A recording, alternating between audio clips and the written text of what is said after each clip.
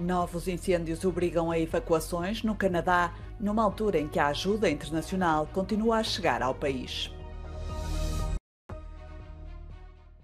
Volodymyr Zelensky confirma ações de contraofensiva em curso na Ucrânia.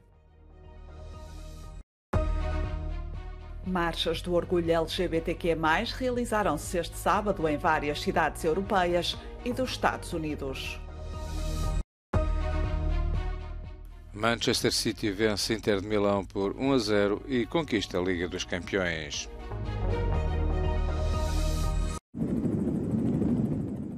Incêndios novos e cada vez mais intensos estão a obrigar à retirada de milhares de pessoas das suas casas em todo o Canadá. No leste, no Quebec, as autoridades avisaram mesmo no sábado que o combate às chamas pode durar todo o verão. Dos 416 incêndios ativos no país, cerca de metade está fora de controlo, segundo informações do Centro de Fogos Florestais do Canadá. A presidente da Comissão Europeia, Ursula von der Leyen, anunciou na quinta-feira que França, Portugal e Espanha iam enviar mais de 280 bombeiros para o Canadá. Os Estados Unidos enviaram centenas de bombeiros para o Canadá nas últimas semanas e já disseram que mais ajuda está a caminho. A ajuda também chegou da África do Sul, Austrália e Nova Zelândia.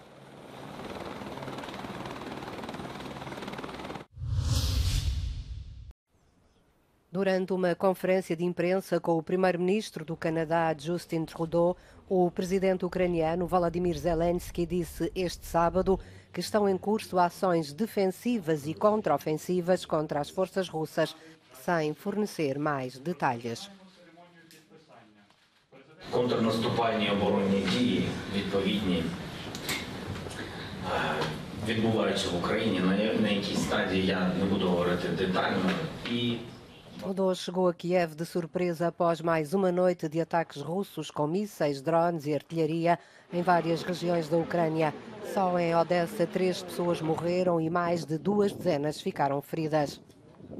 Entretanto, aumentam as preocupações com a central nuclear de Zaporizhia. O último reator da central ainda em funcionamento foi colocado em encerramento a frio por razões de segurança. A Marcha do Orgulho LGBTQ+, percorreu no sábado as ruas de Roma. Uma marcha com significado reforçado perante um governo de extrema-direita que se opõe a pais do mesmo sexo e à gravidez de substituição. Em Tallinn também houve Marcha do Orgulho LGBTQ+. A oposição da Estónia apresentou 700 alterações para bloquear lei do casamento homossexual.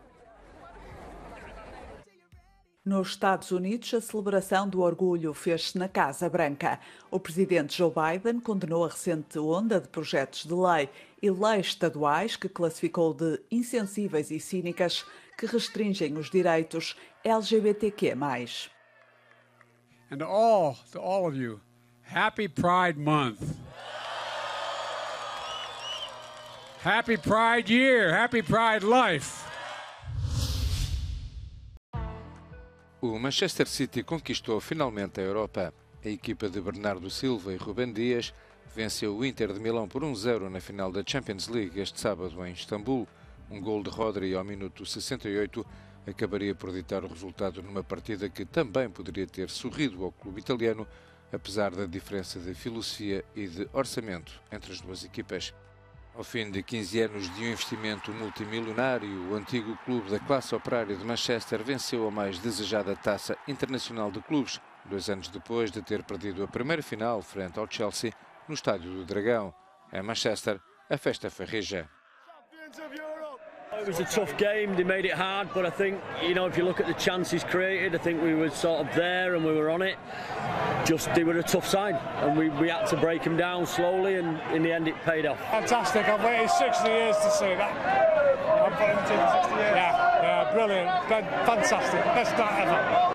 Os adeptos do City terminam o ano em beleza depois de também festejarem a conquista do campeonato e da taça, conseguindo uma tripla que, até o momento, apenas sete clubes europeus tinham conseguido.